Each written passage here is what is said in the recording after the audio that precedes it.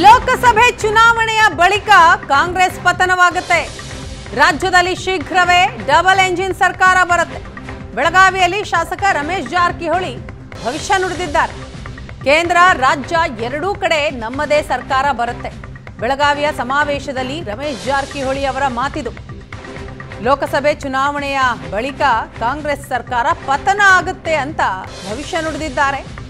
ಮಾಜಿ ಸಚಿವ Ramesh Jarkiholi. Double engine ಸರ್ಕಾರ ಮುಂದಿನ ದಿನಗಳಲ್ಲಿ ಬರುತ್ತೆ. ಕೇಂದ್ರ ಹಾಗೂ ರಾಜ್ಯ ಎರಡೂ ಕಡೆ ನಮ್ಮದೇ ಸರ್ಕಾರ ಇರುತ್ತೆ ಅಂತ ಹೇಳ್ತಾರೆ. ಕೆಲಸ ಮಾಡಬೇಕು. ಇಲ್ಲಿ ಸಿಂಗಲ್ ಇಂಜಿನ್ ಆಗೋದ್ರಿಂದ ಆದಷ್ಟು ಬೇಗ ಡಬಲ್ ಇಂಜಿನ್ ಮಾಡಕ್ಕೆ ಪ್ರಯತ್ನ ಮಾಡ್ತೀವಿ ನಾವು.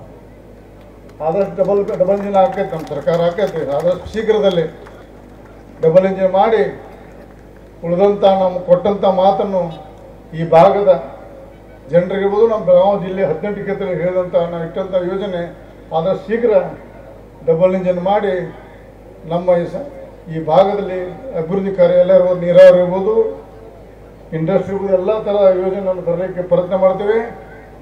ಮತ್ತು ಕಾಂಗ್ರೆಸ್ ಪಕ್ಷದ ಸುಳ್ಳು ಪ್ರಚಾರಕ್ಕೆ ನೀವು ದಯವಿಟ್ಟು ಬಲಿ ಆಗಬೇಡ್ರಿ ಈಗಾಗಲೇ ಗ್ಯಾರಂಟಿಗೋಸ್ಕರ ಒಂದು ಸ್ವಲ್ಪ ಬಲಿ ತಪ್ಪು ನಿರ್ಣಯ ತಗೊಂಡು ರಾಜ್ಯದಲ್ಲಿ ಒಂದು ಕೆಟ್ಟ ಸರ್ಕಾರ ತಂದಿರಿ. ಆ ಸರ್ಕಾರದಿಂದ ಬರೀ ಯೋಜನೆ ಬರೇ ಸಬ್ಸಿಡಿ ಕೊಟ್ಕೋತ ಇವತ್ತೆಲ್ಲ ಈಗ ಲೋಕಸಭೆ ಚುನಾವಣೆ ಸ್ವಲ್ಪ ಲೈಟ್ ಇದಾವೆ. ಅದು ಹೋಗ್ಬಿಡ್ದು ಲೈಟ್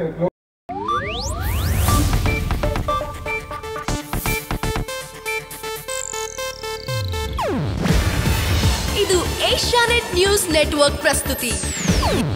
ನೀವು ನೋಡ್ತಿದ್ದೀರಾ ಏಷ್ಯಾ ನೆಟ್ ಸುವರ್ಣ ನ್ಯೂಸ್.